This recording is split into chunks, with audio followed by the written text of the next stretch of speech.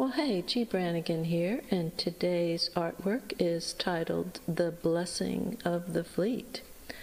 I was actually there in Darien during this event uh, this past year and took a few photos um, and then decided I wanted to do a painting of this. However, my point of view in this painting is from the opposite shoreline, so I used a lot of my imagination. And also, at the very end of this, I did change the final on the furthest uh, ships as they were uh, leaving their blessing area. I decided it was too busy, so I took a few out, left that one in. With that thought in mind, I will see you at the end.